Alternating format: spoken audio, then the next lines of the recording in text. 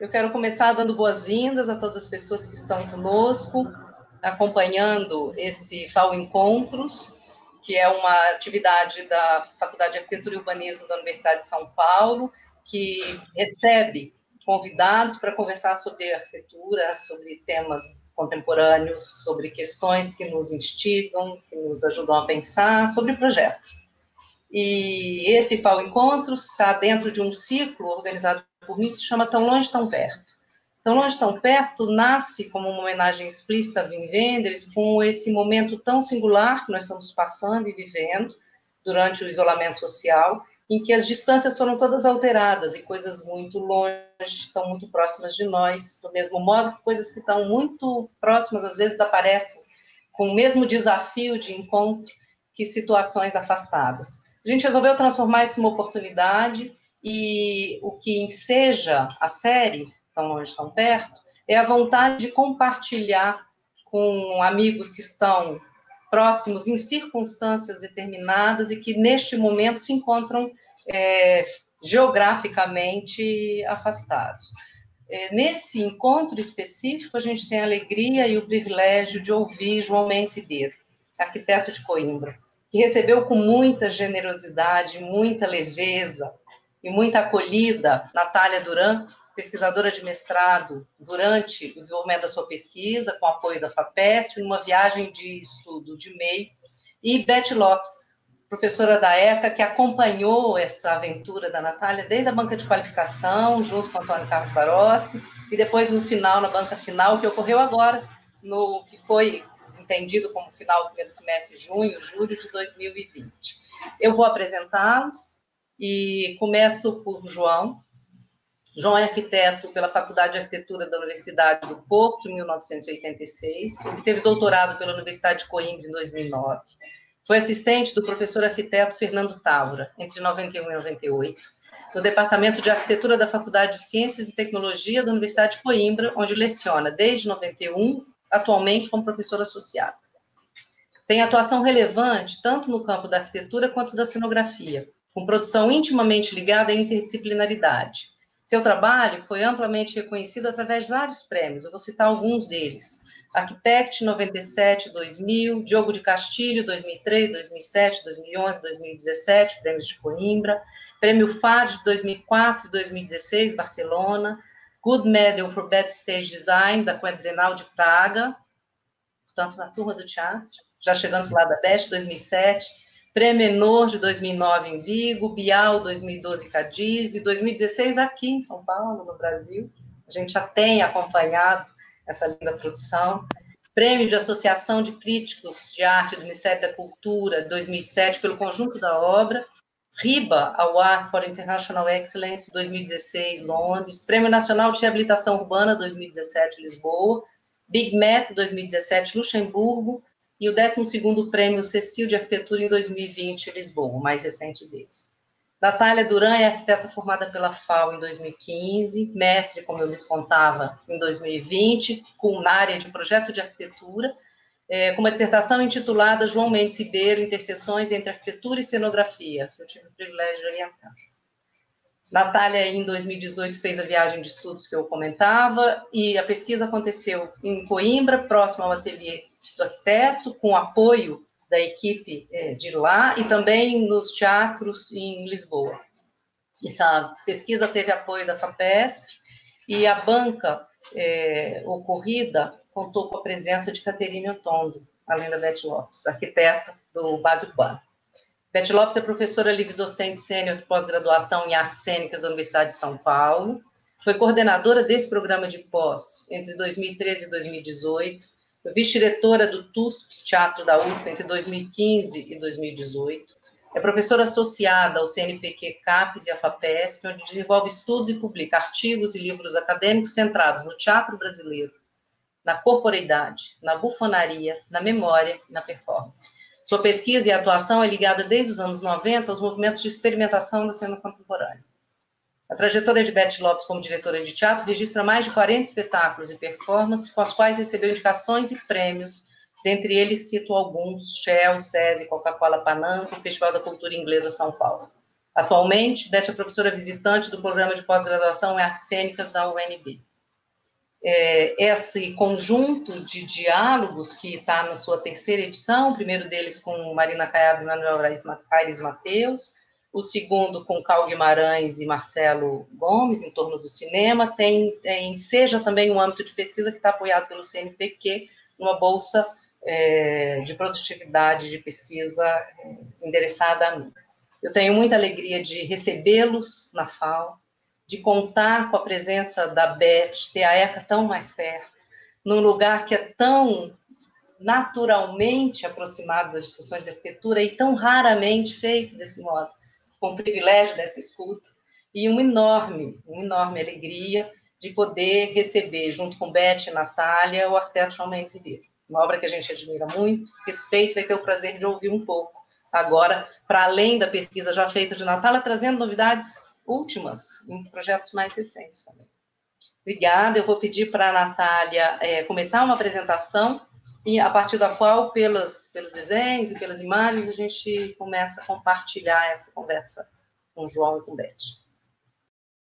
Bom, queria só agradecer, né, é, principalmente a oportunidade dessa, desse encontro com o João e com a Beth, e ainda mais nesse contexto de recém-finalizado o mestrado, e também a Marta, porque a FAO acho que é um privilégio a gente poder ter esse tipo de conversa, ainda mais nesse contexto. Né?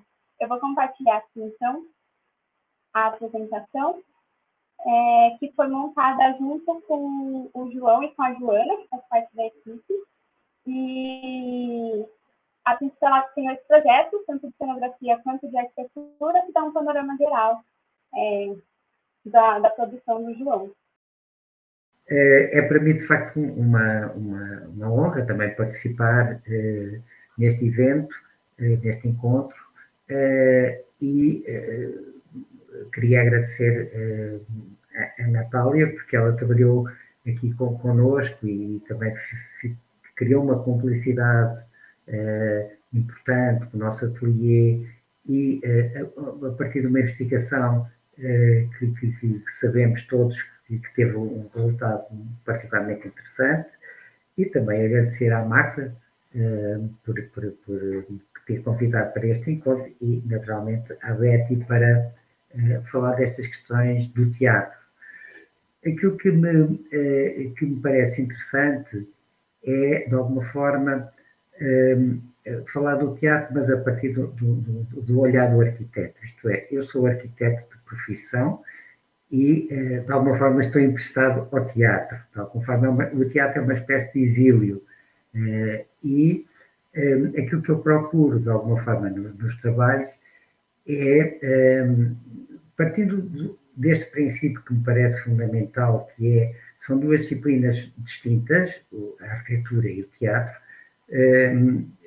uma tem a ver com a representação, uh, outra tem a ver com a vida, então são, são, são claramente disciplinas opostas, uh, mas depois há, de facto, um campo de interseção que me interessa, uh, de uma forma muito particular.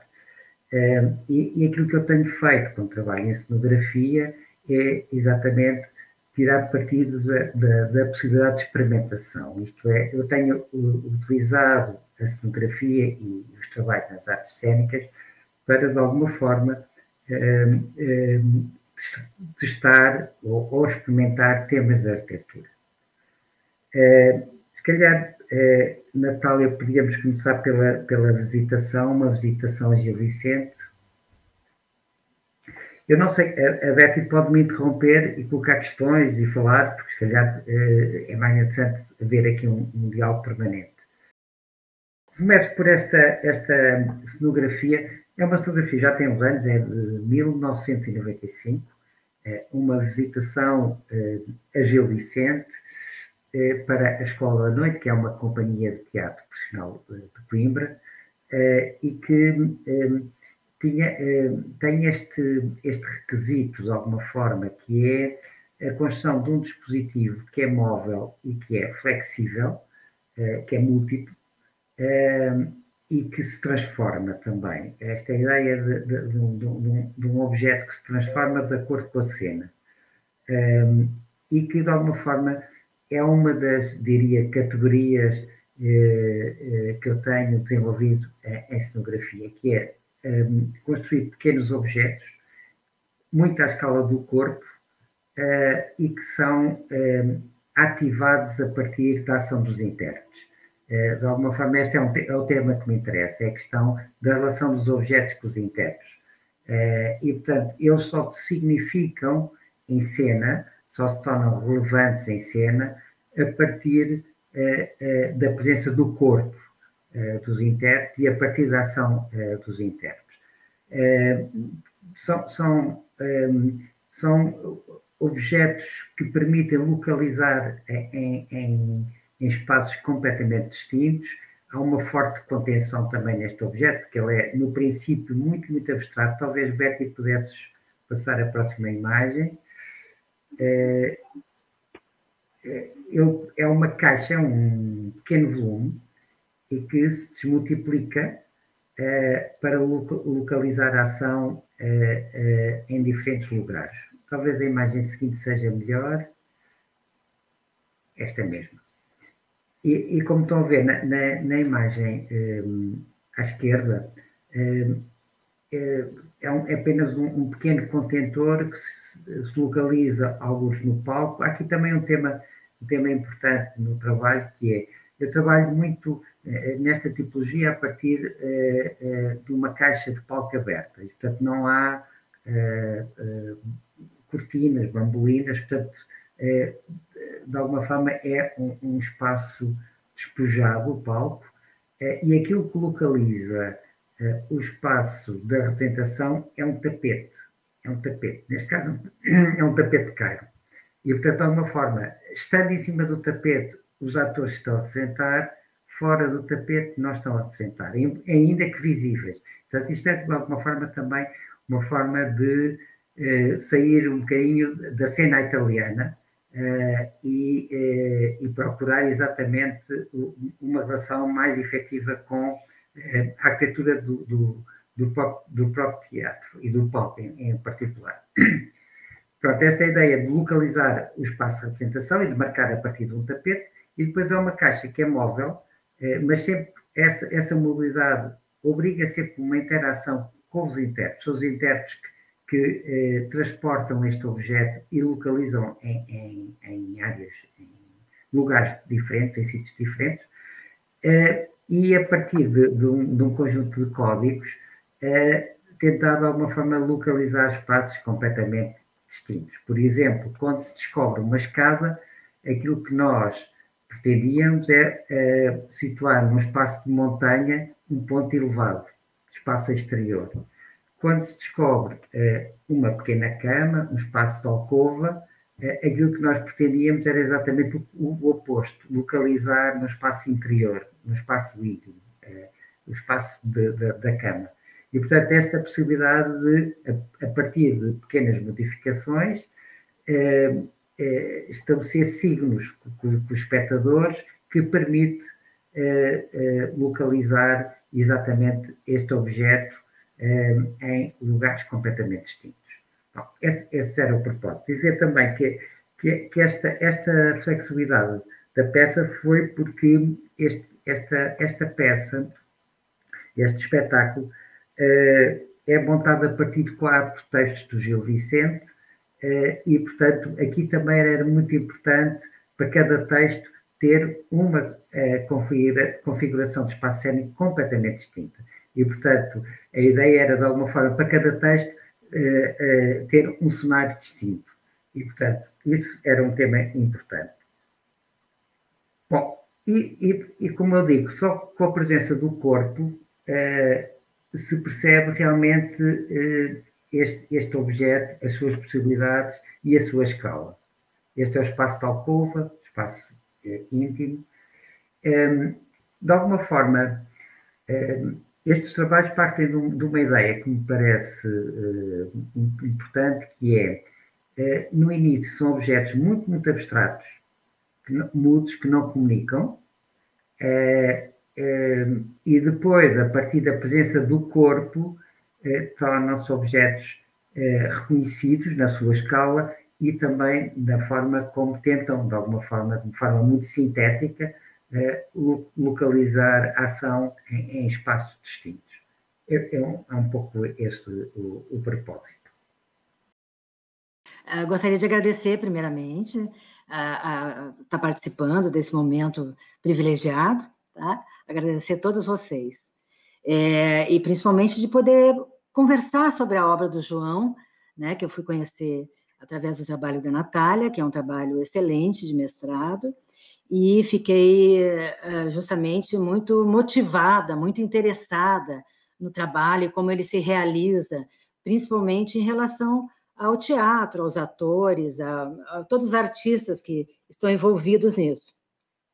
Então, como eu conversava com o João, eu acho que ele, ele na verdade, ele provoca algo muito que vai ao encontro, né, de muita um movimento que acontece na arte contemporânea, né, que é, é, se torna é, bastante é, performativo e vivo na medida em que os atores têm que uh, transformar esse objeto, né? Ele, em diálogo com esse dispositivo autônomo, flexível, móvel, né?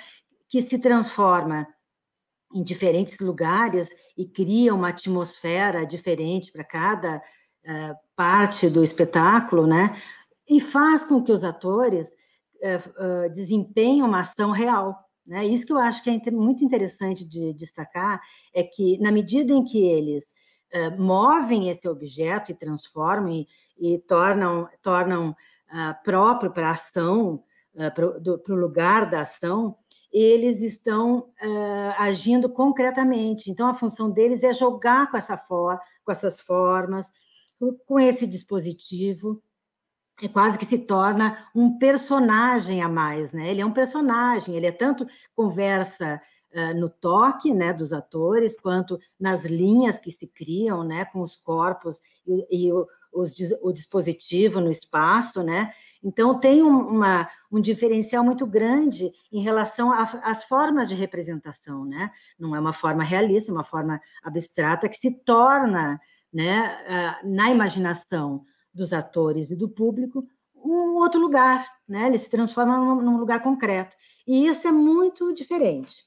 Aí eu li no trabalho, João, da, no trabalho da Natália, eu queria te perguntar isso, que durante os ensaios, durante o processo de criação, que é um momento muito rico para os atores, né? Eles trabalham com seus corpos, olhando para o espaço que eles têm, os, os objetos que eles têm, né?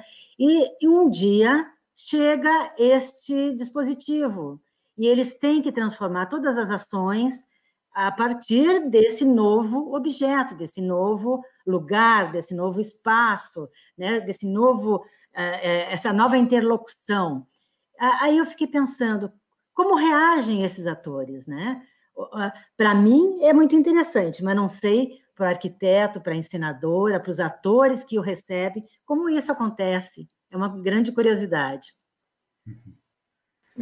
Sim, é, é, essa é, é, uma, uma questão muito, muito interessante, que é, é de alguma forma, quando.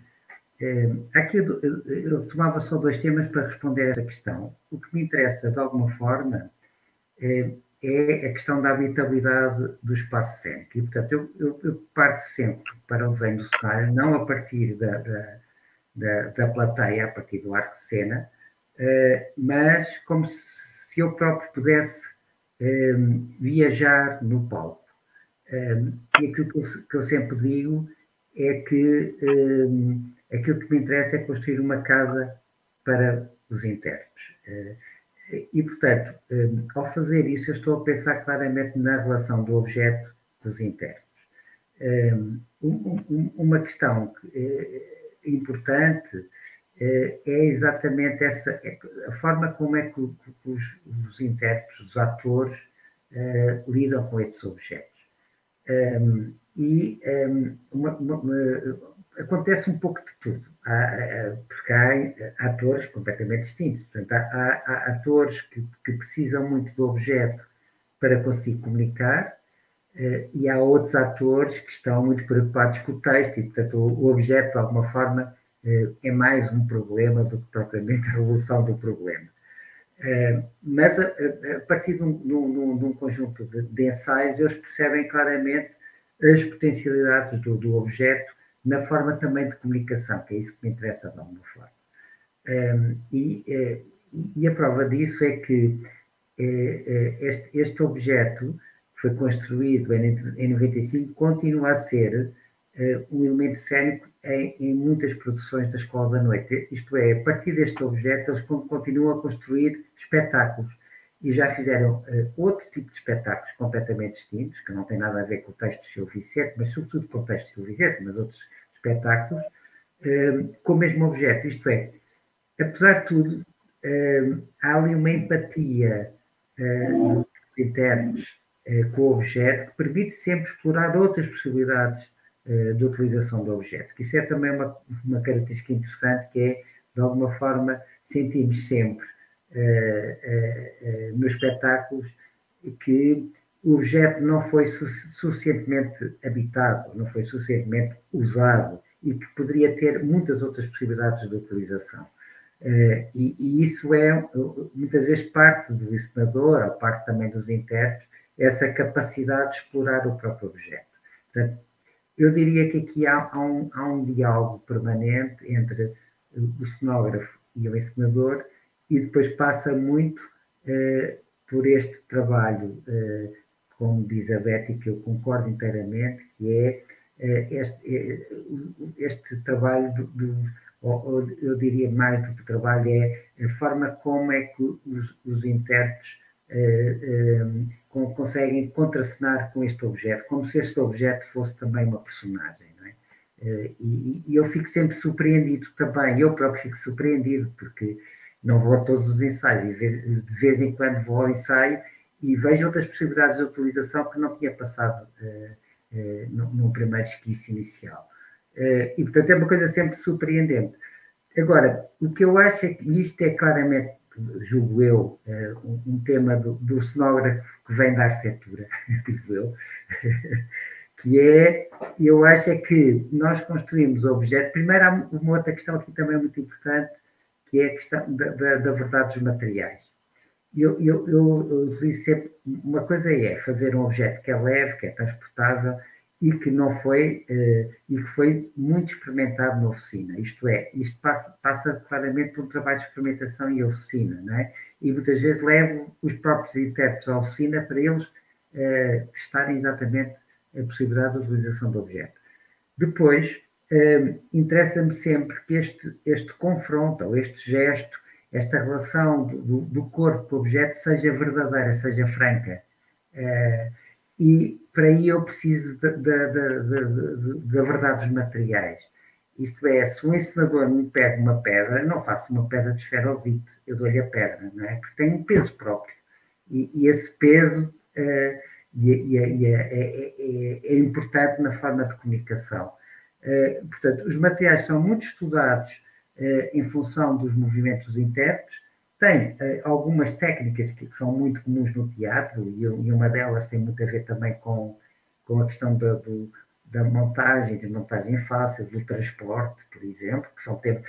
No fundo, estamos a falar sempre de arquiteturas efêmeras, né? então, se quisermos falar de arquiteturas, são sempre arquiteturas efêmeras, que têm um tempo preciso, e ainda para mais, para além da questão do tempo preciso, tem um tempo de montagem, de montagem que tem que ser eficaz e muitas vezes faz uma digressão e, portanto, a ideia de transporte uh, é, também, de, é também um tema uh, importante. E, portanto, eu diria que, que, que uh, esta, esta, esta relação uma relação com os intérpretes fundamental no, no, no meu trabalho e eu próprio vou descobrindo também outras possibilidades de utilização não previstas, uh, e, e, isso agrada-me imenso, esse, esse, essa possibilidade de, de, descoberta das várias possibilidades de, de utilização do objeto cénico. Uh, aqui um, um, outro trabalho uh, um pouco diferente, porque Betty, eu acho que aqui, antes deste, aparecia um trabalho de arquitetura, que era a Casa Robal Cordeiro, Exatamente. É, atrás, é aqui. Pronto. Bom, um, como eu estava a dizer, um, eu, eu, eu, eu, tenho alguns temas de, de, de explorados na, em cenografia, depois transporte para a arquitetura, não é?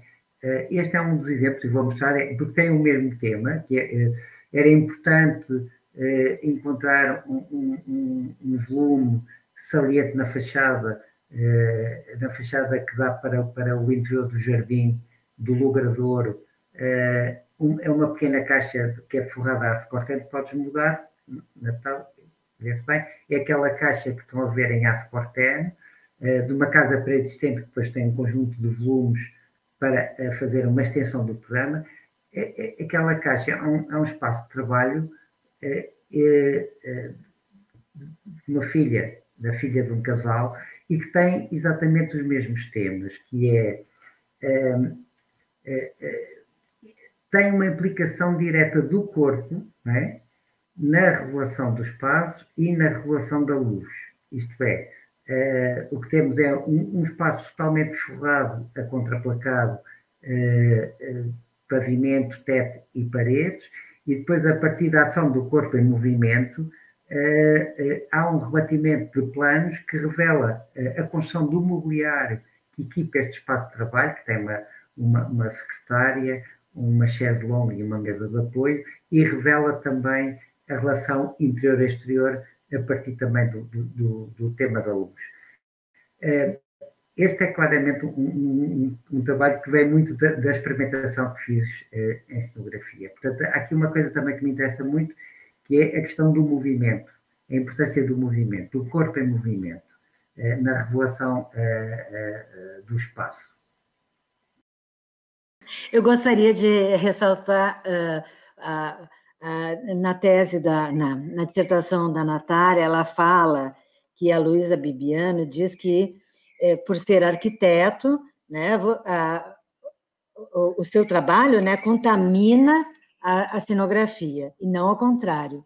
Mas olhando um pouco a arquitetura desse espaço e essa, esse pensamento, esse valor que você dá para o corpo que ocupa esse espaço, né? Me parece que tem alguma semelhança, essas caixas guardam alguma semelhança dos palcos, né? Então, essa essa conexão com a luz, né? Me parece também que é um pensamento que acontece simultâneo à construção desse espaço, né? Ela vem junto, acho que a luz, ela, ela é, é uma referência fundamental para esse espaço, né? Para para o habitar esse espaço, né?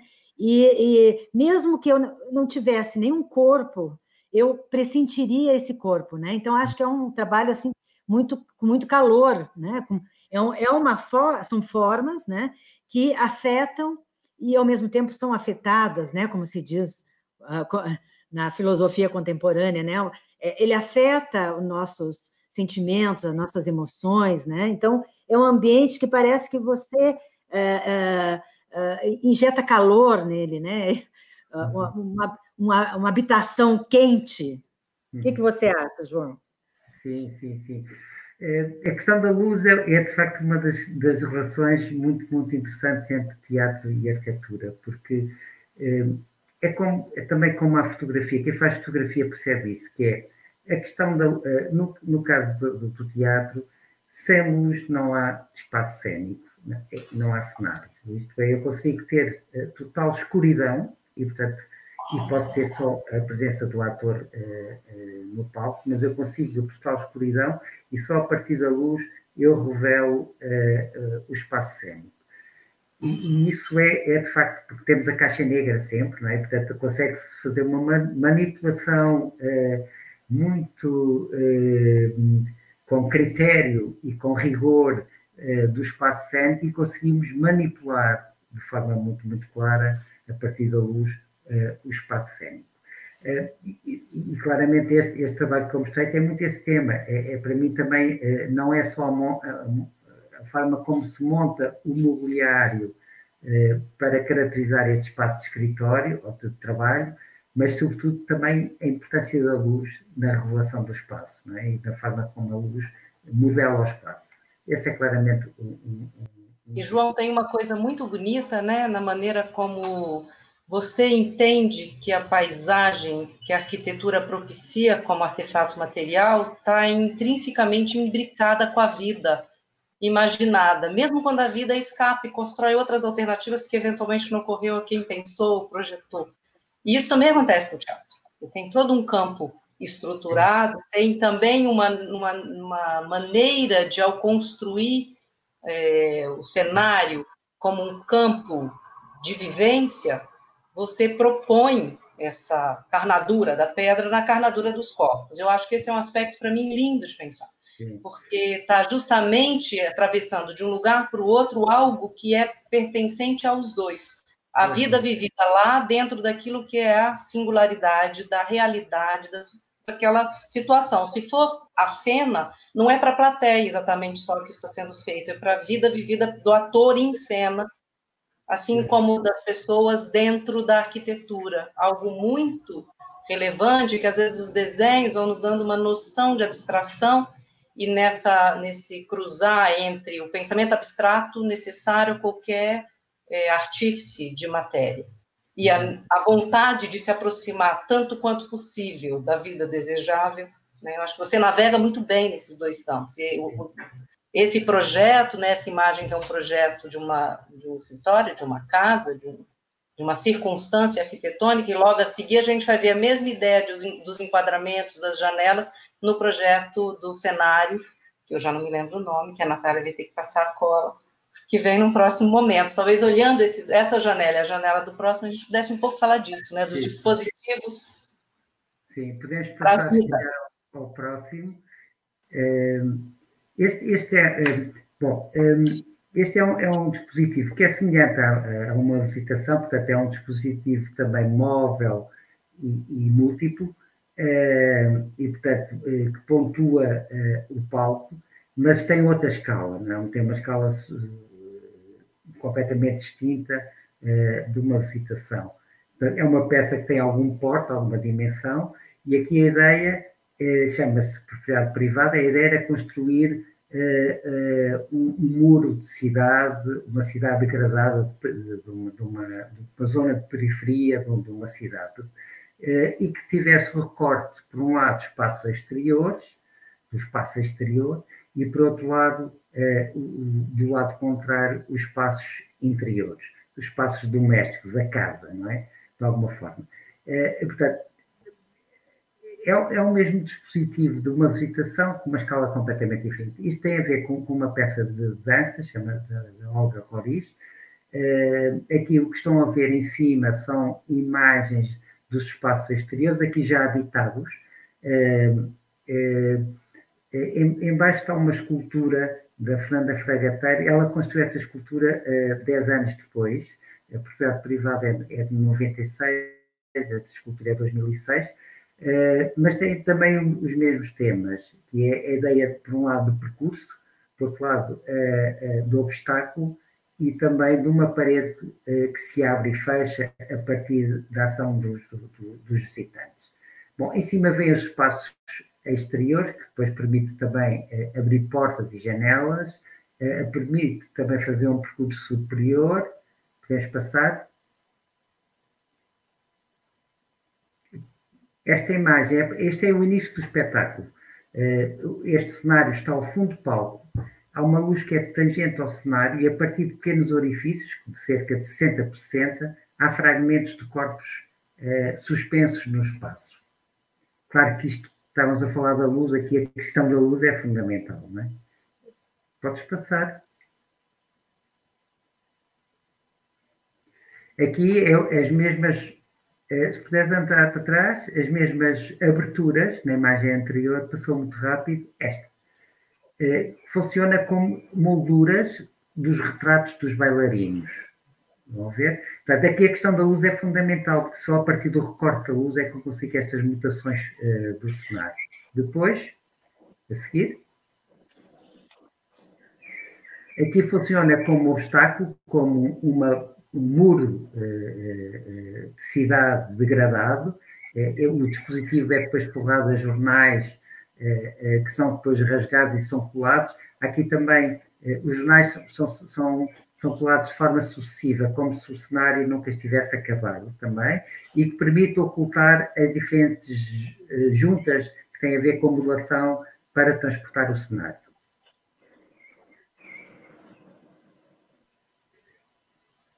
a, ver aqui os, os intérpretes eh, dançam de forma violenta contra o cenário, ainda ao fundo de palco, Vês passar? Também há a possibilidade de, de projeção uh, de imagens uh, sobre o cenário, depois o cenário abre-se, corta-se ao meio, portanto, fragmenta-se, montando uma situação de gaveto. Vamos. Forma também uma diagonal. Aqui, de propósito, os dispositivos de mutação de cenário, nomeadamente a, forma como o cenário sobe ligeiramente e roda, é oculta para criar essa, esse efeito de surpresa.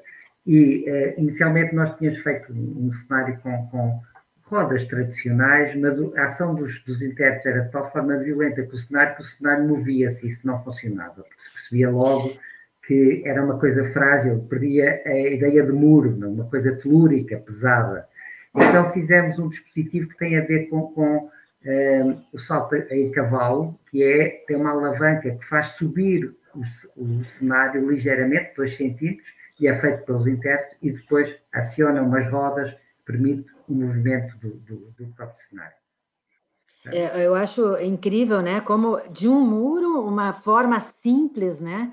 Ah, eu ia falar também que você trabalha com esse elemento surpresa aqui, né? Porque você consegue extrair inúmeras possibilidades e, e acho que essas transformações, essas mudanças de luz, de formas, de molduras, molduras grandes, molduras pequenas, né? É, caixas dentro de caixas, isso tudo dá um, dá um ritmo frenético para o espetáculo, que eu não vi, mas é. eu acho que eu acho que ele tem um ritmo frenético né? E ele é, é, é traz uma é, é uma forma tão simples, tão sintética, o muro, né?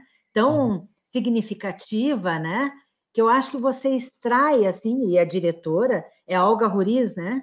É a Olga Ruriz, sim. É, então eu acho que vocês dois juntos têm uma, uma empatia, trabalham com uma empatia que vocês conseguem conversar perfeitamente, né? É, é, essa esse, esses, entre esses dispositivos e os artistas e criar uma homogeneidade tensa, que eu acho que é muito interessante.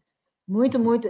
É, é, é, começar com esse muro, depois as caixinhas, as formas, é espetacular. Eu acho que traz mesmo uma ideia assim de, de, de pedaços de corpos que se compõem, né, de formas e de gente, de, e, e de um lugar mesmo muito habitado, né? muito, uh, talvez, uh, poluído, habitado, né? e que é muito interessante. Acho que esse conjunto possibilita uma leitura assim muito intensa da obra.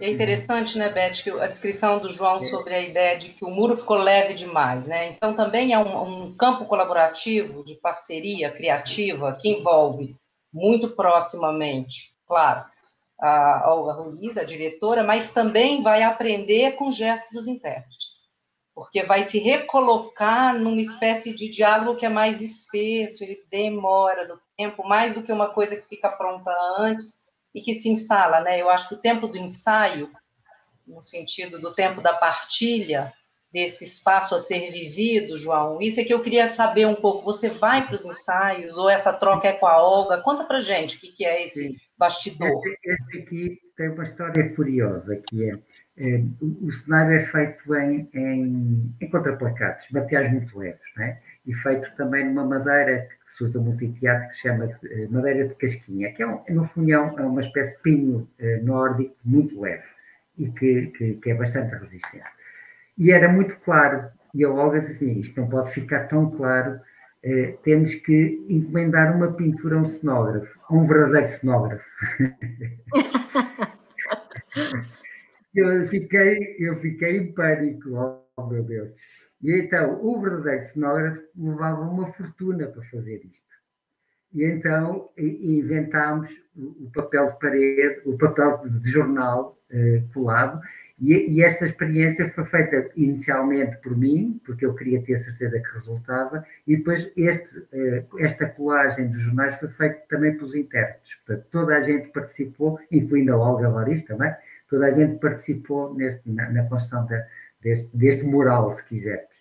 Uh, e, e, foi, e foi por, com muitas tentativas, porque inicialmente tínhamos uh, apenas colado jornais, mas depois não, não dava aquela ideia de, um, de uma patina, de, de, de, um muro degradado, e portanto esta ideia de colar e rasgar, colar e rasgar, uh, foi, foi um, um, elemento importante, e sobretudo depois pensar que é sempre um muro inacabado e que de espetáculo para espetáculo vamos colando mais jornais para que crie essa espessura do tempo, não é? a construção do tempo. Eh, este, este cenário acabou por fazer uma digressão imensa, incluindo fora do, do, do país, eh, e colávamos sempre com jornais diários de cada sítio, eh, de cada lugar. E, portanto, isso também faz parte da história deste, deste, deste, deste processo, como um processo fundamental de relação com os intérpretes, relação com, com, com a coreógrafa e, e, com a minha presença, muito, nesta altura, muito permanente, porque eu, nesta altura, era muito novo, tinha muita disponibilidade e também estava, de alguma forma, a aprender uh, a, a, trabalhar nesta área do teatro. É? Deixa eu comentar uma coisa que eu achei bem interessante que a Olga comentou quando eu fiz a entrevista com ela, e que vai bem de encontro com o que a Beth comentou da do ritmo frenético, né, da peça. Ela comentou que, que era muito calculado o tempo e que essa coisa da música, associação, né, dos movimentos dos bailarinos com a música, com a cenografia, é, virava uma máquina, que ela chamava, é, ela chamou essa cenografia de caixa de Pandora. E ela comenta isso, que, que realmente tinha que ser muito calculado, então ela com, combinava quem passava primeiro, depois é, qual era o bailarino, para que isso casasse exatamente com a música e nesse ritmo, né? Então, realmente, essa coisa da movimentação do cenário com os bailarinos tem mesmo essa, essa dinâmica que a Beth estava comentando, e aí eu acho interessante de colocar aqui. É muito interessante. Eu, eu uh, vou confessar uma coisa que me parece muito importante. A Olga tem, a Olga Roriz tem uma capacidade imensa de, de trabalhar a partir dos objetos cênicos. E, e, isso é um dado muito importante, porque ela própria diz que eh, para montar a coreografia precisa mais do objeto cênico do que a música. Eh, portanto, ela parte do objeto cênico e do espaço para a montagem eh, do espetáculo. E, e, e, isso é fantástico, porque, porque ela trata sempre de forma maravilhosa os objetos cênicos. É, porque normalmente, né, João, o, o bailarino parte da música, né? E o, o, ator de teatro parte do texto, digamos assim, né? E aqui a proposta é partir desse objeto. Objeto, exatamente. É, da é. descoberta das possibilidades desse objeto, né? E não há é. tempo para pensar porcarias, né? Em bobagem, em, em, lado, ação é viva, única, concreta. Sim, sim, é muito isso, e por outro lado também sentir eh, que, eh, como um bocadinho como a visitação, embora este objeto tenha mais potencialidades, é menos sintético, não é?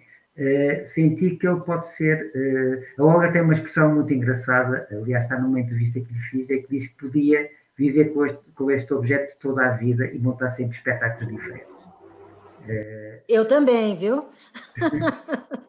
Eu acho que ele possibilita muitas leituras, né? muitas uh, possibilidades de, de criação, né?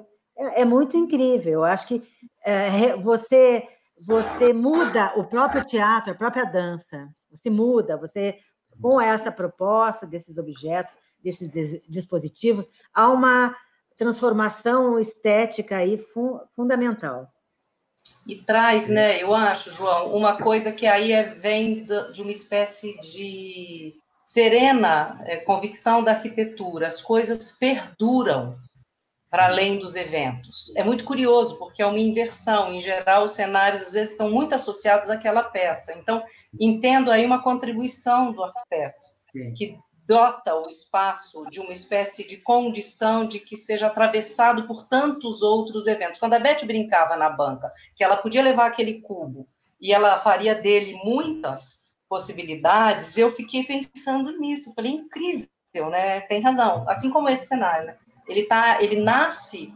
é, por essa cena imaginada, mas depois ele vai transbordar e viver para além dessa cena imaginada, que é uma linda aula de arquitetura também né? No sentido de que a gente pode imaginar a cena que quisermos, mas as coisas perdurarão. Né? Eles ficam, né? A Natália contou deles ficarem no Teatro da Noite, não é isso, Natália? Você encontrou os objetos? Sim, esse ele fica na companhia Olga Roriz. E até é engraçado, Marta, isso que você está falando, porque a Olga fala que poderia fazer 10 espetáculos com, esse, com essa cenografia, tipo aos bocados, ela comenta a partida toda junta, para trás, para frente, ela fala bem assim. E, e, foi reutilizado no propriedade pública, né, João? Eu não vou me lembrar exatamente Sim. o ano, mas depois, né? Eu ia chegar lá, depois tenho duas imagens para mostrar isso, é que eh, a Olga depois eh, achou que o cenário não estava suficientemente habitado, então montou mais dois espetáculos com, o próprio cenário, né? Eh, e, e, e, isso é muito curioso, com espetáculos completamente diferentes, né? Completamente diferentes. E tem a ver muito com, com, com, aquilo que a Marta diz, que é, de alguma forma, é, estes objetos são construídos com, com, com o rigor de um trabalho de, de, de, um construtor arquiteto, isto é, de alguém que constrói com o rigor eh, de, de, uma construção eh, e, e, que permite, de alguma forma, eh, que ele ganhe vida própria, os objetos ganham vida própria e depois são utilizados noutras circunstâncias. Eh, Bom, isto é depois com o cenário eh, dá uma rotação eh, total e para te revela os espaços interiores. Eh, esta é uma situação de quarto. Há, aqui, os, aqui os intérpretes estão a trabalhar de pé, mas a fingir que, a dar ideia aos espectadores de uma vista aérea sobre o quarto. O espaço do, do quarto, o espaço da sala, tem um espelho, e depois aqui são os vários modos. Aqui, ao contrário do espaço exterior, há uma espécie de recorte eh, de cada módulo. Cada módulo tem um material, uma textura, eh, e remete-nos para o tema da, da, da, casa. É esta imagem, pronto. A, a imagem de cima chama-se Prioridade Pública, é o segundo espetáculo que a Olga Roriz fez, que foi no espaço exterior, curiosamente, porque o próprio, a própria peça é um palco, não é? E, portanto, eh, ela é autoportante eh, e, e, e mesmo no espaço exterior, que foi junto ao Rio Tejo, ela consegue localizar o espaço da representação.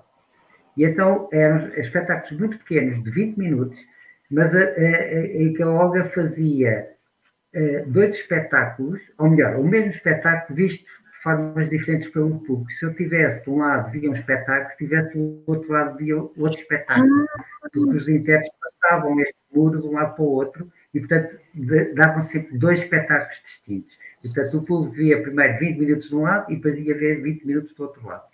Eh, Sensacional. E depois eu e ela quebra a ideia da frontalidade do teatro, né, João? Desculpa te interromper, mas não resisti. Ela quebra a frontalidade, ela faz uma dupla cena, né? Em geral, no teatro, no, no, no, na, no edifício teatro, a gente tem a boca de cena que é uma, né? Nesse caso, tem uma possibilidade é, dupla muito linda. Exatamente. E há também uma aproximação do público a este objeto. O público está de pé, não está sentado, e está muito próximo do objeto e, portanto, muito, muito perto dos intérpretes também. Depois, eh, aconteceu um acidente, houve uma tempestade e o cenário caiu ao Rio Tejo. Eh, isto na, na, na, penúltima noite de espetáculo, portanto, não foi muito grave, porque foi mesmo assim no fim do, do, do, do, do último espetáculo, ou último ou penúltimo. E a Olga fez um outro espetáculo que se chamava Sefim, Fragmentos, Inscrições e Memórias, com o mesmo cenário, mas com o cenário, com a impossibilidade de utilização do cenário. Isto é, tudo o que era defeito do cenário, eh, que tinha a ver com, com, com aquilo que se recuperou desse, desse acidente, montou um outro espetáculo para exatamente revelar o cenário de uma outra maneira. Eh, eh, nos primeiros dois espetáculos, o cenário era super eficaz, tudo corria de acordo com os ritmos, aqui os, os bailarinos tinham alguma dificuldade em acionar o cenário e isso fazia parte da própria coreografia. A impossibilidade de, de, de, de, relação com o cenário a partir de um dispositivo que, que, está danificado. Portanto, esta ideia de embora este módulo que estão a ver aqui era um dos módulos que estava recuperado e, portanto, ainda funcionou e tem a ver com a abertura de uma mesa e, e, a forma como os, os, bailarinos se relacionam com esses objetos. Bom, depois, um, aqui estão a ver, é, são desenhos técnicos, mas há aqui a ideia também de rebatimento das, das peças totalmente para conseguir facilitar o transporte. Tem uma engenhosidade no desenho, João, que é muito linda. É, é, um desenho engenhoso, no sentido de precisar ser sintético, como a Beth observou, ao mesmo tempo ser rico, porque ele tem que propiciar uma diversidade justamente no encontro com o corpo dos atores Sim. ou bailarinos, né? É. Um detalhamento sofisticado, coisa... inclusive de, de ferragem, né? Não é simples, porque ele, não, ele tem que se movimentar dentro de um cálculo. Sim, é, é, isso é muito verdade, que eu aprendi imenso com os mestres carpinteiros uh, que existem nos teatros. Infelizmente estão a desaparecer, mas que são uh, técnicos fantásticos e aprendi imenso. Uh, e, e, portanto, aqui é, é, um trabalho muito de relação entre ateliê e oficina. no caso da arquitetura não existe, não é? Nós, é, é ateliê e obra, mas o, o o projeto está fechado e depois começa a obra uns meses mais tarde, ou uns anos mais tarde. Aqui não, há um processo. Eu inicialmente fazia muito como, como, como, como sabia, eh, naturalmente, eh, estudante de arquitetura e, portanto, eh, sem muita experiência ainda de, de, de prática profissional em arquitetura, mas desenhava como um arquiteto. E então desenhava tudo, tudo, tudo, tudo, tudo, tudo projeto de execução, chegava à oficina e encontrava sempre outras possibilidades muito mais inteligentes e muito mais interessantes de fazer o cenário. E então, eh, o que eu faço é sempre eh, discutir uma, eh, uma ideia com o mestre carpinteiro ou, ou, com os técnicos das oficinas e depois venho para o ateliê desenhar o projeto de execução, muito a partir da, da, da, da relação com a oficina. E porquê? Porque também é muito importante que haja uma coerência, que haja uma, uma síntese no projeto, eh, que, que, que, naturalmente só se consegue no ateliê, não, não se consegue numa oficina. Eh, mas agrada-me imenso este processo a gente... de, de relação eh, ateliê-oficina, uma relação permanente, e depois passar isso também para o processo de, de, de montagem do espetáculo, que também é uma relação de ateliê com a eh, produção de espetáculo e que passa também por, por, por, pela presença dos intérpretes, muitas vezes na própria oficina, né? porque acontece, por exemplo, eh, há uma peça que é fundamental eh, aquela bailarina transportar, ou é fundamental uhum. a relação do corpo daquela bailarina com a mesa.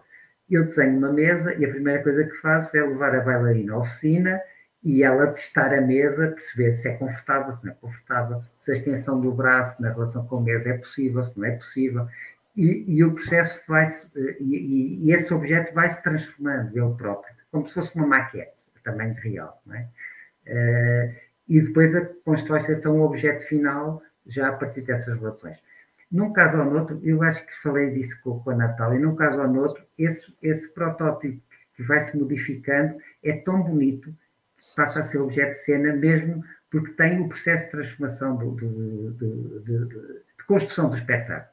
E eu, eh, em duas ou três situações em que as peças estão cheias de remendos, eh, pequenos objetos, estão cheios de remendos desse processo, mas depois deu uma peça muito interessante porque constrói este tempo, não é? É como se aquele objeto tivesse um tempo eh, e eu conseguisse construir esse tempo a partir das modificações que foram feitas a partir da relação com os intérpretes. Portanto, isso é que é riquíssimo e, e, e felizmente na arquitetura eh, este, este, este, esta relação entre o processo criativo e a construção do edifício não é tão eficaz, não, não, obviamente, depois na obra é, é muito importante. Eu, eu, reservo uma boa parte da minha, do meu empenho para a obra, porque acho que na obra eu consigo um bocadinho isso, sobretudo quando faço projetos de reabilitação. É, e consigo muito essa interação, oh, isto não está bem, vamos modificar, vamos fazer de uma forma mais simples, ou vamos fazer desta maneira, é, é, porque me interessa muito esse, o processo de criação a partir é, de, desta relação com, com, com como se os edifícios, eh, no caso da reabilitação, é mesmo como se os edifícios fossem maquetes, a tamanho real, não é? E que eu pudesse operar sobre elas, não é? Eh, mas nem sempre é possível. Bom, desenhos técnicos. Aqui é uma questão importante que a Betty já falou e que a Marta também falou, que é eu de facto não consigo, e isto é um paradoxo, eh, quando faço cenografia, e nós vemos isso também, muitas vezes, as, as, eh, eh, quando faço arquitetura, naturalmente os espaços são representados, ou as imagens são representadas sem a presença do corpo, não é? E muitas vezes tem mobiliário, mas também o mobiliário quando é escolhido, porque se não é escolhido já não funciona. E, e, não deixa de ser um paradoxo, porque quando eu faço cenografia e a, e a cenografia não tem que dar resposta necessariamente a um uso do cotidiano, não é? Porque não tem, não, não, não tem que dar uma resposta aos problemas do dia a dia. Eu sinto sempre que não consigo mostrar a cenografia sem a presença do, do corpo, sem o espaço vivido. E não há uma imagem de cenário que eu tenha que não tenha o corpo como, como, como uh, elemento João, fundamental tem um desenho que nós aqui no Brasil temos muito apreço, um pequeno croquis muito delicado, feito por Lúcio Costa, para apresentar uma circunstância de uma espécie de varanda em Monlevade, uma área coberta numa casa. E ali tem a mesa, com uma pessoa na mesa, a criança brincando no chão e alguém a lavar roupa. Essa construção da, da imaginação possível de uma cena de vida que faz uhum. sentido para justificar ou para ensejar o desenho de uma paisagem arquitetônica, estava muito presente na maneira como Lúcio Costa é, propunha as formas de constituir a arquitetura. E aí você dizendo isso, eu acho que tem alguma coisa para reaprender, né? A gente às vezes tão ocupado com a abstração é, da engenhosa matéria, distrai disso que é o fundamental, que é o que nos faz trabalhar. Né? que é as razões da vida para onde a gente vai poder endereçar. Por mais que depois isso vire outra coisa, a criança não esteja mais lá, seja um cachorro. Podemos avançar, se não, vamos, eh, se calhar, passar. Ah, eu, que, eh, eu procurei trazer um ou outro trabalho que, que, que, se situa nessa relação muito próxima com, com, com, a, com a, a cenografia e também com as artes plásticas, de alguma forma, porque também é verdade que eh, eh, eu, na minha relação com, com a cenografia e com o espaço cênico, muitas vezes procuro também eh, uma relação com as artes. e, sobretudo, autores ou artistas que trabalham temas da arquitetura. O que me interessa são sempre os artistas que trabalham temas da arquitetura. E este é um trabalho que eu, que eu, eu, fiz um primeiro trabalho que eu não vou mostrar, que é, que é este que vem aqui, que é uma, um, um pequeno edifício que funciona como uma espécie de pavilhão de jardim, uh, e o cliente pediu-me sempre para montar uma piscina ao fundo. Uh, uma piscina que tinha que ter também ter um, equipamentos de apoio, balneários, uma zona em sombra para, para montar um pequeno, um pequeno, uma pequena cozinha, uma zona de refeições. E eu nunca quis fazer isso. Eu demorei seis anos a fazer este projeto, porque fui sempre adiando.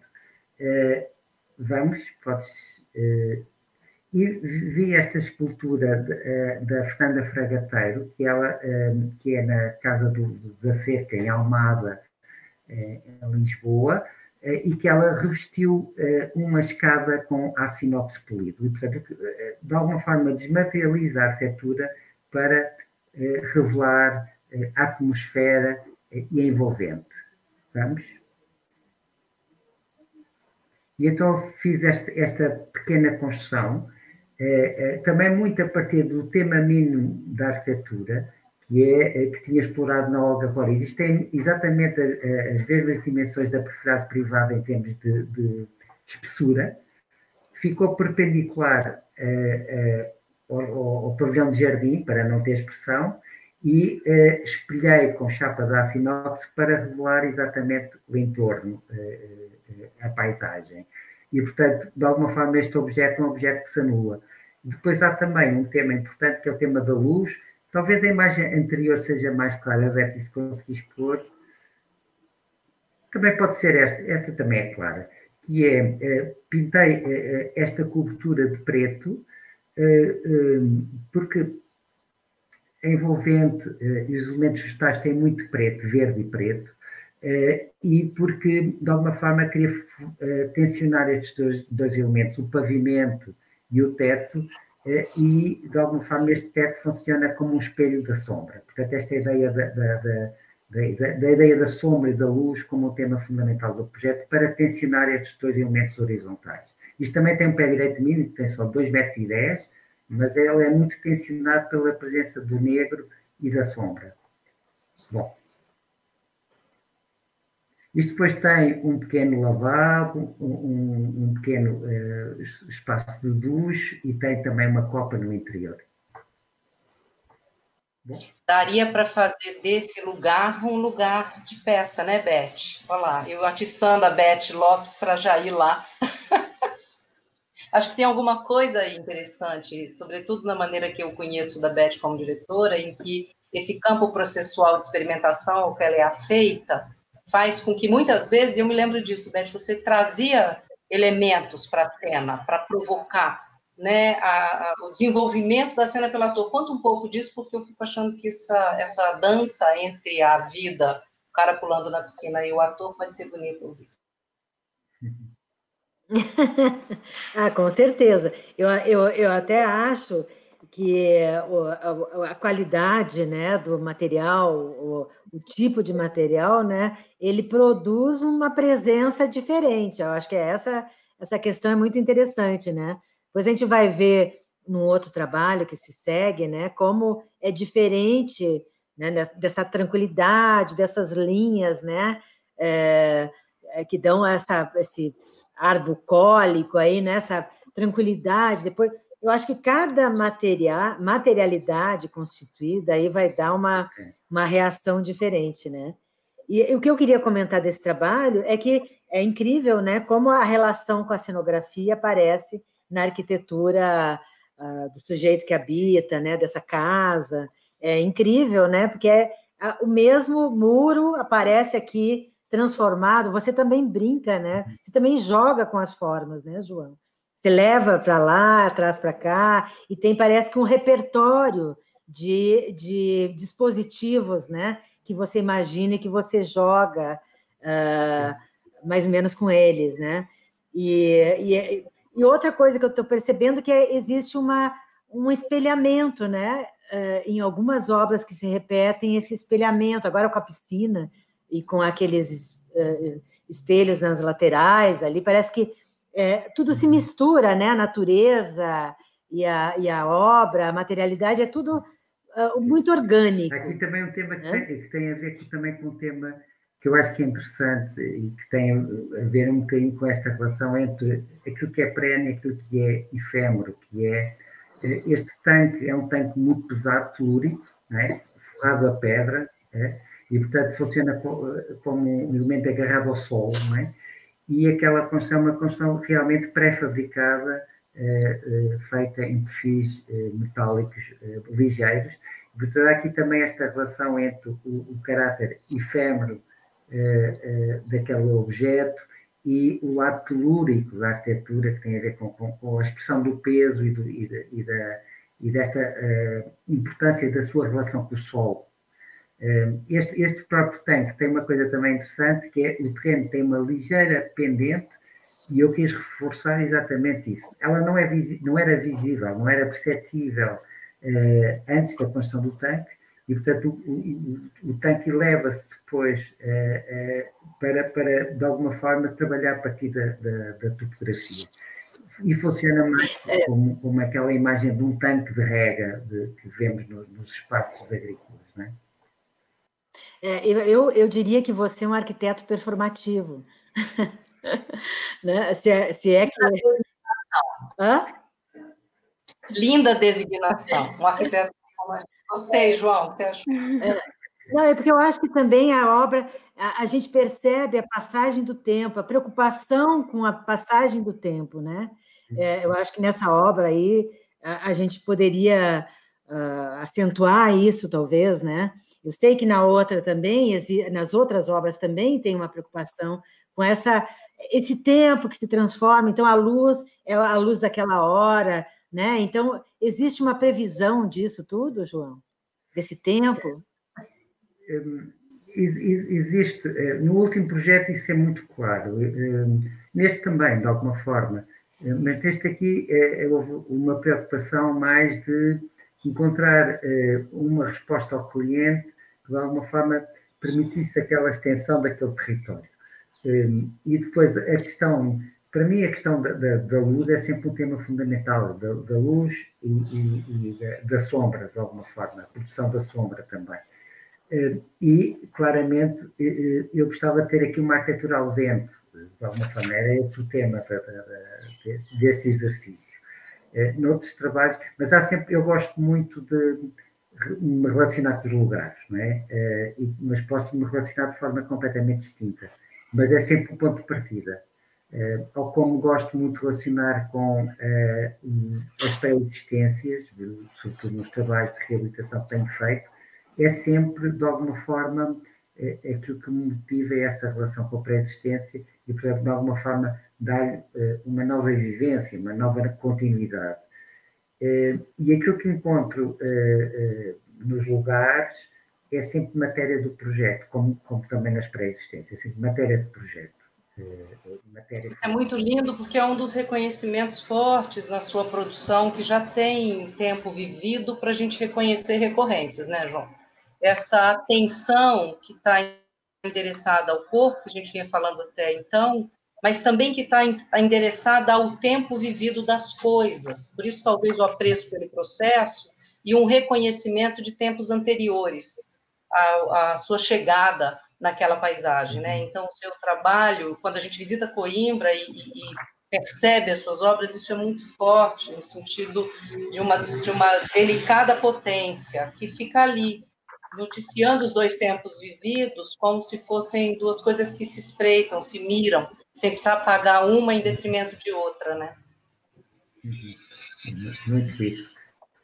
Bom, é, este, esta cenografia é, é uma cenografia que é, Teatro São João, encenação do, do Paulo Castro, e é um texto importante, o texto é importante porque situa-se numa pós-guerra nuclear. E, e esta é uma questão importante, que é este é um trabalho um pouco diferente dos outros trabalhos, porque é um trabalho que adera à boca de cena e, portanto, tira-se muito partido do teatro italiano, é, portanto, é para configurar um, um mundo diferente.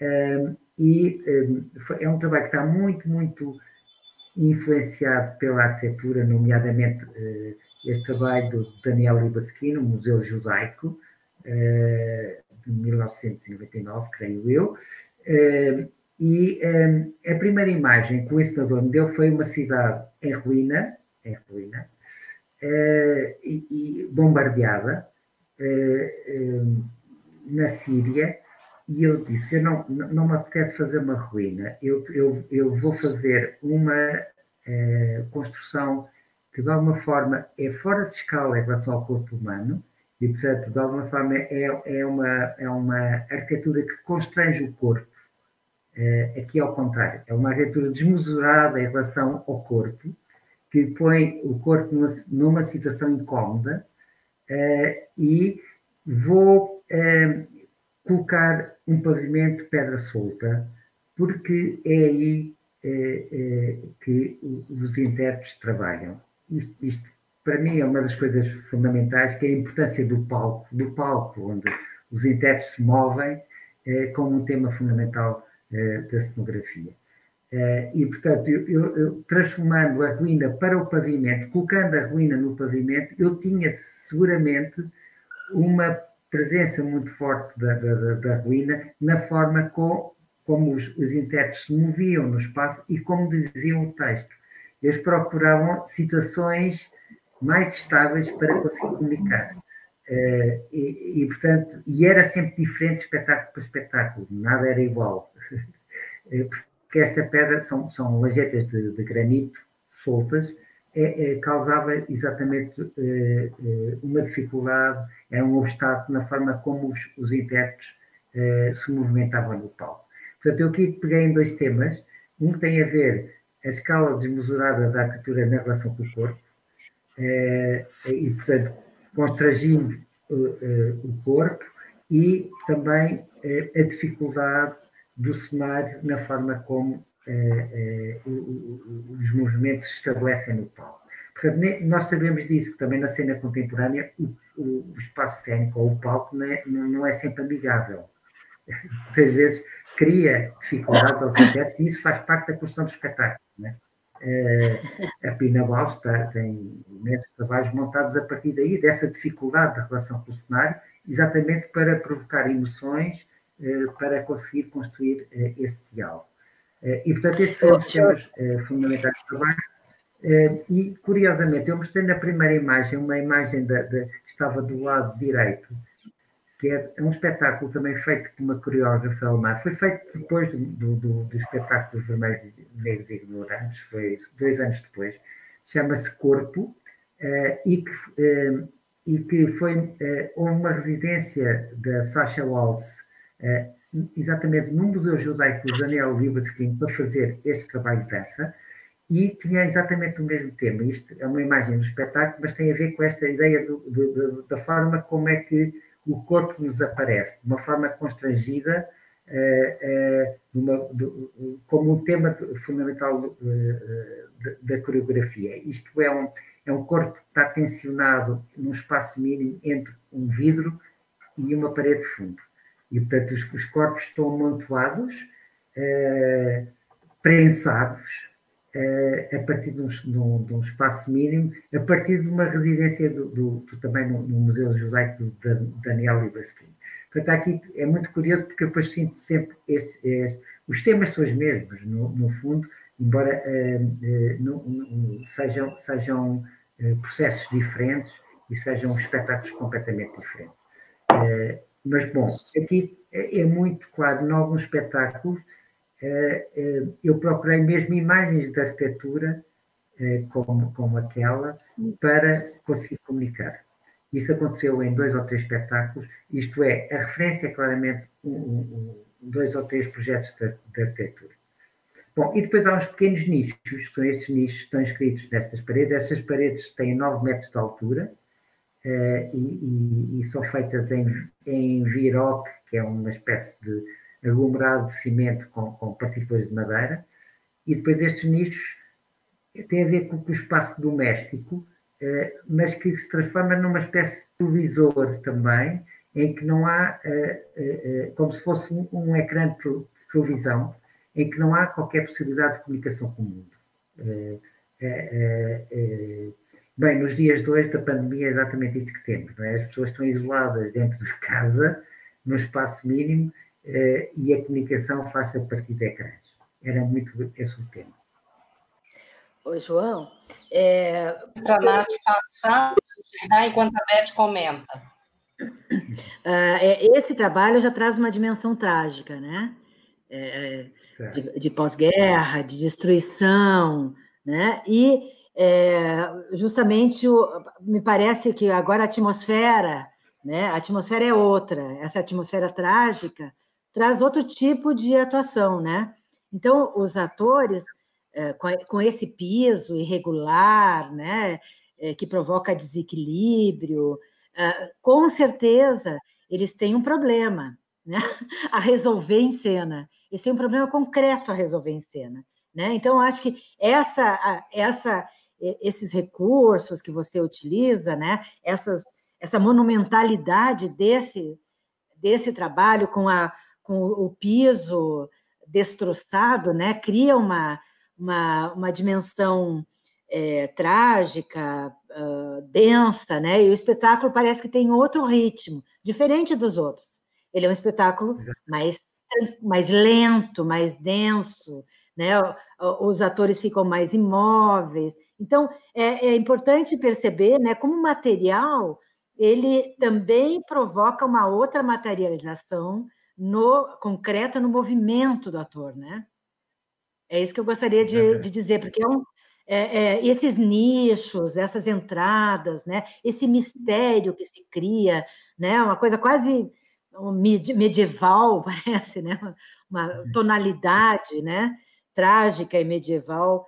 Então, é, é claro, eu conheço essa peça aí, né? São, eu não sei como é que ela se chama em português, mas eu vi em francês, ela se chama pièce de guerre, né? São, é, não sei como se diz, peças de guerra, não, é atos de guerra, alguma coisa assim, né? Atos e, de guerra. Atos de guerra, né? E aí você cria dentro um outro palquinho, um outro palco, né? Que é aquela, aquele onde acontece a cena no interior da casa. Então parece que é uma fotografia dentro desse desse espaço grande, né? Você cria um, um, uma delicadeza ali dentro desse espaço enorme, monumental, né? Que deixa as pessoas pequenas, né, os, uh, uh, pisoteadas, né, destruídas. Então, é uma leitura que é interessante, e tem essas linhas diagonais. Então, tudo contribui, eu acho, para trazer essa atmosfera de, de pós-bomba, pós, eh, pós-guerra, uhum. né, de desumanidade, desumanização, desculpe. É, e, e essa cena, por exemplo, super fantástica, esse momento aí dessas mãos, né, que que saem do, do solo e que encontra alguém uh, numa situação inusitada lá no, no alto de uma escadaria, né, com um vestido de, de gaze suave, delicado, cor-de-rosa. Então, tem uns contrastes aí que eu acho que são muito interessantes da gente compreender né, o seu trabalho junto com, com, com esses artistas. Uhum. João, deixa eu lhe fazer uma pergunta. Eu quero muito mostrar o lanterninho que a Natália visitou e trouxe como uma novidade linda. E a gente vai ter mais ou menos uma meia hora. Eu não sei se a gente pode passar por ele antes de voltar para uma próxima peça. O que você acha? A Casa do Lanterninho, pode? Sim, pode. pode. Natália visitou essa casa e trouxe como uma. Depois a gente volta para esse. Como uma surpresa impressionante como as duas coisas são uma só e é um gesto muito inusitado para o território da arquitetura. Este, sim, este, este, este trabalho é, é um trabalho, é, enfim, é, é, um trabalho que começa por, por tentar encontrar um, um, dispositivo que permite chegar à luz. Aqui é, é claramente o tema da luz. Há, há um, esta casa é uma casa do princípio do século XX, eh, que tem um espaço de circulação interno sem luz natural, no primeiro piso e no piso térreo, eh, e era importante ter luz natural. Os clientes pretendiam, de alguma forma, que este espaço de circulação interior tivesse luz natural. Bom, isso, isso tinha a ver com, a necessidade de buscar luz a partir da cobertura, e depois, obviamente, foi, foi, um desafio. Eu propus que, que, que, para além da luz da, da cobertura, pudéssemos, de alguma forma, a partir daí, caracterizar aquele espaço, que era um espaço de trabalho, e construir uma grande mesa, e que, de alguma forma, fosse também o elemento caracterizador deste, do espaço do sótão. Portanto, é, foi um desafio muito interessante, porque os clientes gostaram muito da ideia e, e, e, portanto, avançámos muito para esta ideia. Depois, a partir daqui, foi também, de alguma forma, trabalhar eh, esta relação destes, destes eh, elementos que vão buscar a luz a partir de diferentes quadrantes de luz. Eh, na cobertura, é uma, é uma cobertura de quatro águas e, portanto, nós vamos buscar luz de norte, luz de sul, eh, diferentes quadrantes e também eh, uma luz de sul que, que, que, tenha uma inclinação para, para, para o inverno e uma luz sul que tenha uma inclinação para o verão. Portanto, jogamos também aqui com, com, o tema do, do verão e do inverno e dos diferentes quadrantes de luz. Um, e, portanto, temos sempre luz, uma luz completamente distinta de, de, de, de espaço para espaço, uh, e a partir desta, deste elemento unificador, que é a construção de uma mesa e que, simultaneamente, funciona também como uh, uh, a construção o reforço desta luz que vai até, até, até ao interior deste espaço. Há depois um, um, um, tema aqui importante, que é, de alguma forma, uh, talvez na última imagem, que está preto e branco, dá para perceber, mas esta. Isto é o que se vê no interior do espaço. Uh, estes quatro uh, espaços, estes, estes quatro paralelepípedos de luz, unificam-se, criando um, quadrado dividido em quatro partes, que ilumina exatamente o interior deste, deste, deste espaço. Portanto, aqui eu gostei muito deste desafio porque o, tema era muito interessante. Era, é, é, e eu, percebo como, é que conseguimos transformar aquele espaço interior que era muito interessante do ponto de vista das circulações, mas que não tinha luz natural. E, portanto, a importância da luz na regulação do espaço e no conforto do espaço. É? Uh, e para mim era um desafio imenso, porque quer dizer, é uma coisa. Era, é, normalmente os, os clientes não, não fazem esse tipo de pedidos. É? Uh, e, portanto, podia ser tudo. Havia inteira liberdade de fazer tudo. Eu é que depois, a partir daí, somei, somei outras possibilidades. Eu gosto muito de, deste, deste tema que é eh, de ter um objeto que pode ter várias funções. Ter... gosto muito dessa ideia de, de, de Pode ser uma mesa, pode ser um lanterninho, pode ser outra coisa qualquer. Uh, eu gosto muito dessa ideia de, de, de, não ter apenas uma função, ter várias funções incorporadas no, no, no mesmo objeto. E isso vem muito também da cenografia, porque, obviamente, eu testo muitas coisas e, e sobretudo, há uma coisa que, que eu acho muito, muito interessante na, na, na, na questão do, do, do espaço cênico, que é. Um, a forma como os espectadores veem o, o, próprio cenário. Isto é, não é sempre a mesma coisa, porque uma coisa era fazer um cenário realista e aí seguramente todos os espectadores viam a mesma coisa. Outra coisa é pegar em objetos que são relativamente abstratos e que eh, têm eh, signos, eh, significados associados, mas que podem não ser interpretados todos da mesma maneira. E eu gosto dessa liberdade gosto dessa liberdade uh, do espectador, cada um construir o seu cenário, se quiser, à sua maneira. Uh, e muitas vezes, em, em conversa com, com, os espectadores, eu, eu, eles têm coisas diferentes e é muito, muito interessante essa, a, forma como cada espectador uh, constrói o seu espaço, o seu espaço cénico. E aqui, no fundo, foi isto. No fundo, sim, ok, mas eu posso fazer mais coisas. Isto, eu resolvo a luz, mas com, com o mesmo gesto eu consigo uh, encontrar outras possibilidades. E, e, pronto, e, e, é, é, também um trabalho que eu gosto muito porque parte de, um exercício muito simples, mas ao mesmo tempo muito estimulante, que é desenhar a luz. que é das coisas mais incríveis que os arquitetos sabem fazer, que é como é que, como é que conseguem pegar na luz natural e conseguir conduzir para o espaço interno, fazem isso a partir das portas, das janelas, não é? Como é que conseguem conduzir a luz para o espaço interno e como é que essa luz cria conforto no espaço interno e consegue modelar o espaço, transformar num espaço habitável. Essa é, eu diria que, que, que das características mais uh, estimulantes da, da, da arquitetura. É, é, gosto muito desta ideia de espaço interno, espaço exterior, relação com a cidade, depende muito dos trabalhos, eu gosto muito dessa relação com o espaço público, a importância do espaço público, mas depois uh, gosto muito deste, deste, deste tema, que é um, um, como é que a luz. Uh, por exemplo, um, trabalho que eu acho notável, não sei se conhecem, que é a Fundação uh, Barragán no, na cidade do México. Conhecem? Que é aquilo do ponto de vista do desenho de fachada, que não tem sentido nenhum. É, não há composição, as, forma das dimensões, tudo aquilo é, é, quer dizer, tem algum sentido, mas nós uh, conseguimos descobrir exatamente o verdadeiro significado daquelas aberturas a partir da vivência do espaço interno. E aquela, a, a, a, posição das aberturas, a dimensão das aberturas, os materiais associados, a cor, é absolutamente excepcional. Uh, e, e, e, para mim é claramente este tema: é, é, como é que eu trabalho a luz uh, no espaço interno. Pronto, e esse é dos temas mais fascinantes, mas aqui era mesmo o exercício. Eh, os clientes só queriam ter luz naquele espaço de circulação. O espaço de circulação é muito interessante, mas tornou-se muito mais interessante a partir do momento em que, em, em que foi revelado a partir da luz natural. Né?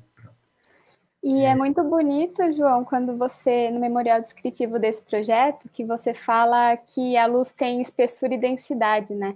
É muito poético, assim, pensar nessa, nessa noção e nessa materialização mesmo da luz, que, que fez parte do projeto, né? A densidade e a espessura, eu, eu fiquei é, achando muito, essa, muito a característica desse projeto. Sim, né? Essa densidade é, dada por uma atmosfera que é preciso as arquiteturas têm que ser habitadas, têm que ser visitadas para se perceber, mas é por uma, por uma atmosfera que, que este espaço e, e o espaço de baixo contêm, mas também é muito reforçado pela expressão destes dois elementos que lhe dão essa espessura, não é? Porque se eu tivesse apenas um, uma. A importância da reflexão da luz nesta superfície é muito importante, não é? É, e uma das coisas que, eu aprendi, é muito na, na fotografia, isso é tão claro, tão claro, é, que é eh, em alguns trabalhos, eu não, não, não, não, consigo mostrar tudo, mas em alguns trabalhos eu trabalho a reflexão da luz como tema. E tenho elementos que são elementos, vê-se isso muito no cinema também, imenso, na forma como se ilumina os, os espaços, não é? que é, eu tenho elementos refletores, não tenho a, a, fonte de luz direta, tenho a fonte de luz projetada no, numa parede que reflete a luz. Uh, e, portanto, a forma como a, a, luz é refletida a partir dos materiais é também aqui claramente um tema fundamental.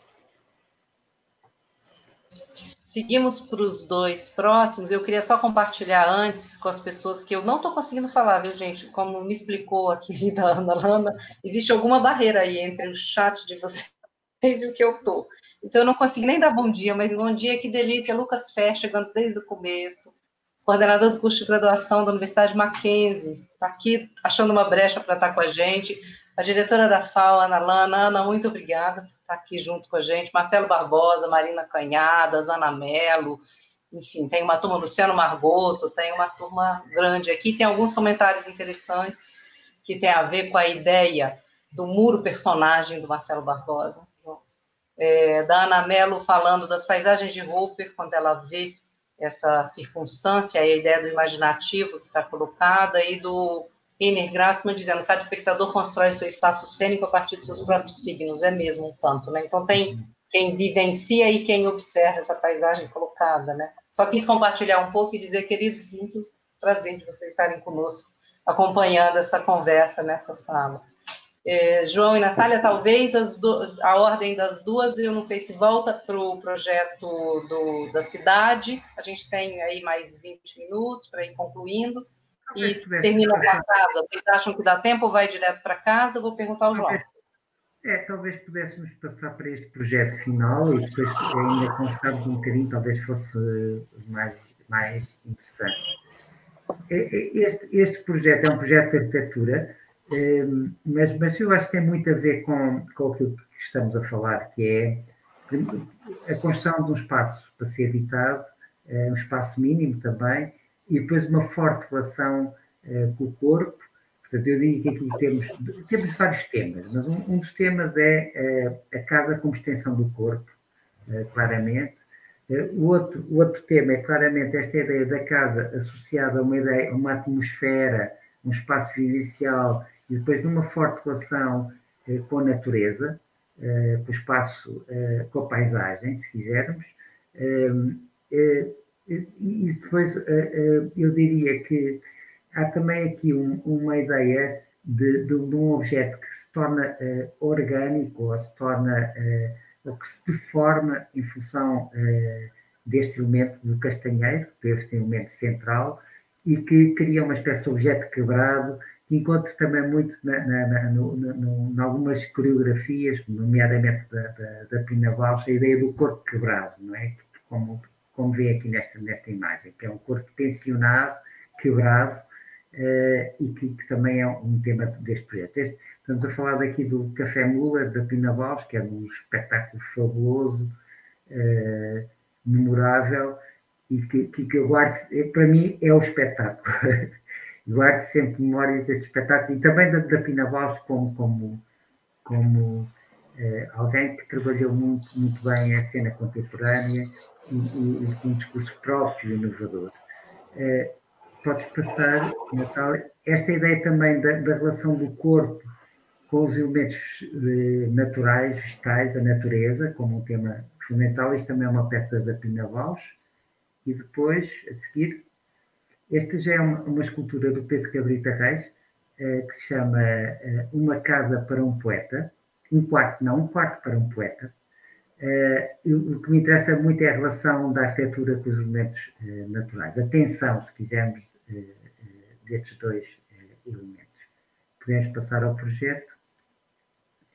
Bom, este é, primeiro, trata-se de uma arquitetura efêmera. Bom, dizer, é uma pequena construção num, numa zona de castanheiros, no norte do país, perto de Foscoa, entre, entre Meda e, e Trancoso e eu é que uh, fui ao, ao terreno uh, e achei que gostava muito de localizar essa construção em torno deste castanheiro. A primeira coisa foi, uh, gostava que este, que, este, que este objeto fosse, tivesse um caráter efêmero também. Daí a opção pela, pela construção em madeira, mas sobretudo porque também não queria que ele colidisse com as raízes do castanheiro. E, portanto, a ideia de proximidade eh, do elemento vegetal eh, obrigou também a pensar uma peça que fosse, que não tocasse no solo, se quisermos, e que não, não, não tocasse nas raízes do castanheiro. Depois, uma outra coisa, é muito difícil levantar o castanheiro. Eu, a primeira vez que fui ao, fui ao terreno e que decidi logo que era ali que ia fazer, eh, eh, eh, fiz um esquice, tirei duas ou três medidas mas depois, quando fiz, desenvolvi o projeto, tive que mesmo fazer uma maquete a tamanho real eh, eh, para conseguir perceber a configuração eh, deste, deste, desta construção na relação com o castanheiro.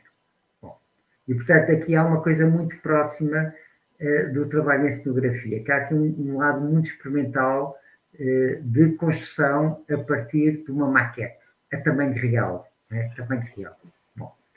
Bom, o castanheiro está, está aqui, debaixo deste, desta copa.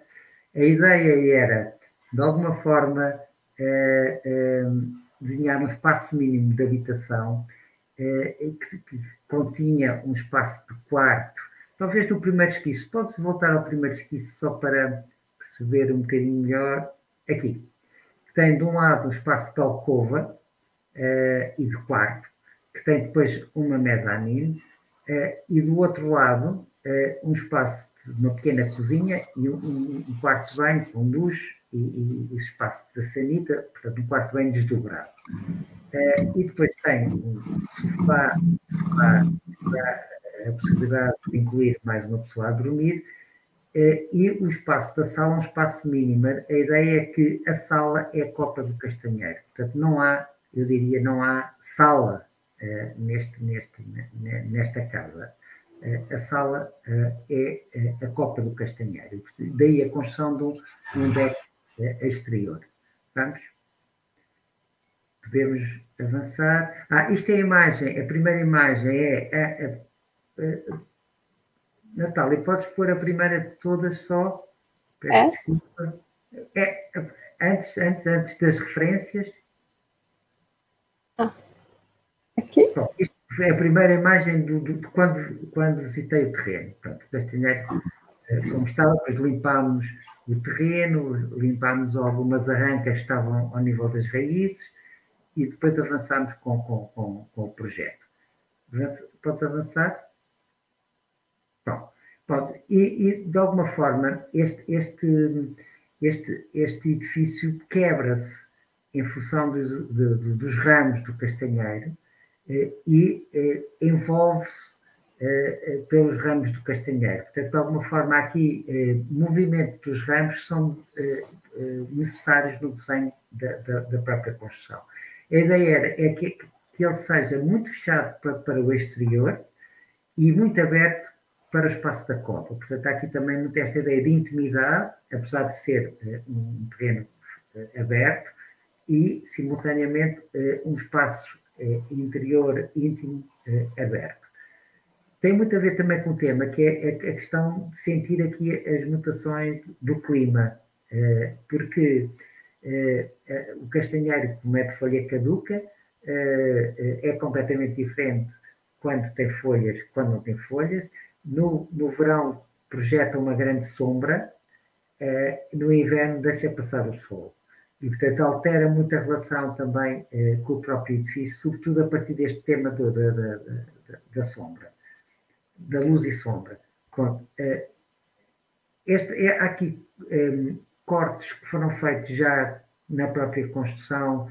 Esta fachada, por exemplo, era uma fachada quadrada e depois tive que fazer este corte no canto superior do lado direito, exatamente para passar os ramos. Portanto, há um conjunto de cortes que são feitos no próprio sítio e que têm a ver com essa necessidade de, de relacionar com, com, com o castanheiro.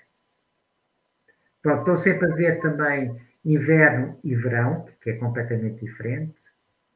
A forma como aqui a construção praticamente toca uh, uh, no castanheiro e tem movimentos, tem cortes em função do desenho uh, dos ramos e depois o espaço interno. Como estão a ver, é um espaço muito aberto, depois tem uma cortina que permite fechar e abrir.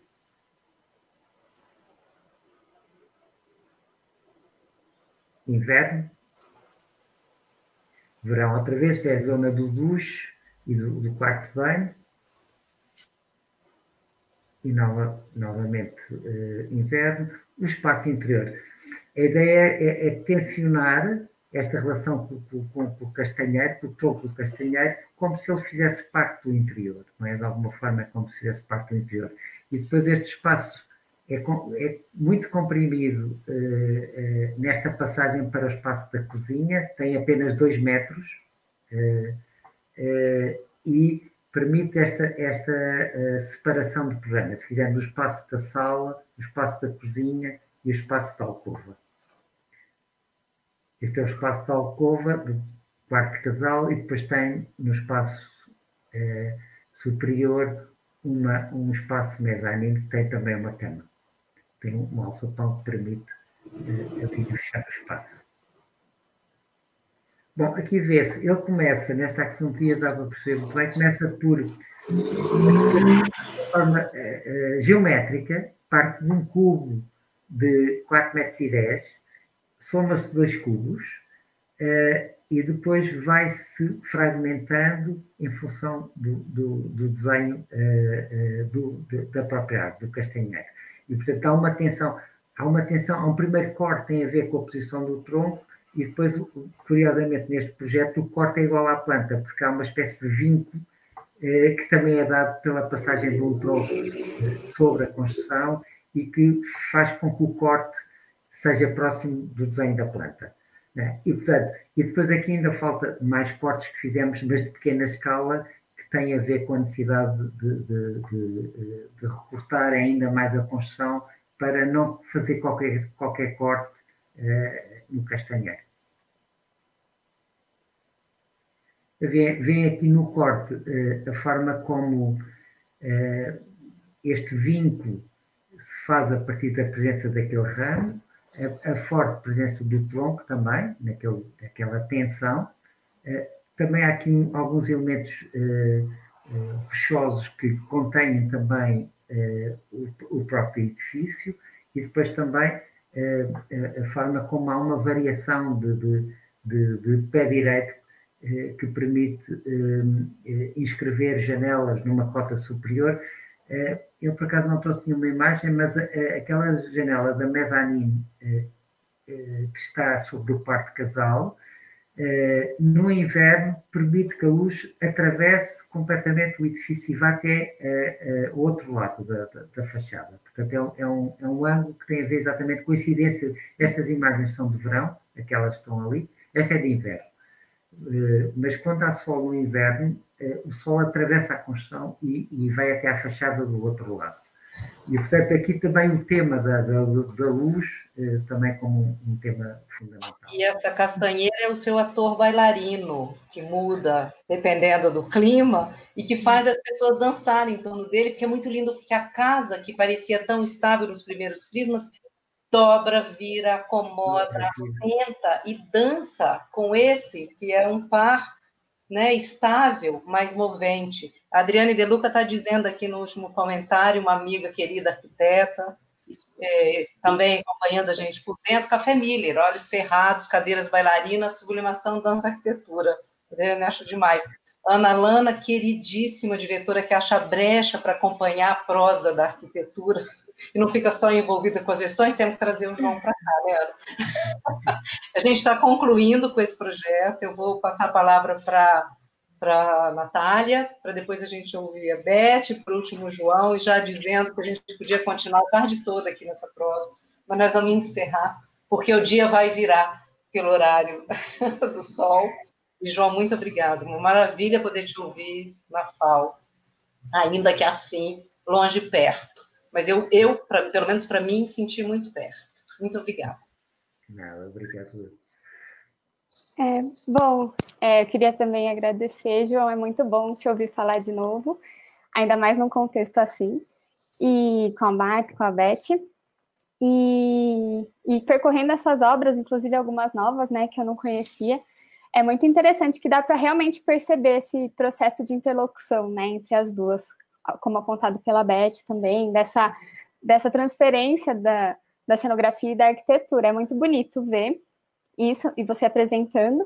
E, e o, que eu, o que mais me instigou, assim, para o mestrado, né, foi justamente esse raciocínio. E o que eu acho muito interessante é como que, a partir desse ir e vir, e, e de uma metodologia que é muito singular sua, é, pode-se criar um, um modo de pensar mesmo a arquitetura, né? E de redefinir os seus limites, como você fala no doutorado. Então, queria muito agradecer, foi muito, para mim foi super, até emocionante participar. É, muito obrigada. E a Márcia e a Beth também. Obrigado. Bom, eu, eu faço das palavras das minhas, minhas colegas as, as minhas, né? É, e quero dizer que seu trabalho é muito inspirador, é extremamente inspirador. É, nos leva não só a pensar na arquitetura, ou no teatro, na cenografia, né? Mas em modos de vida, em como viver juntos e bem, né?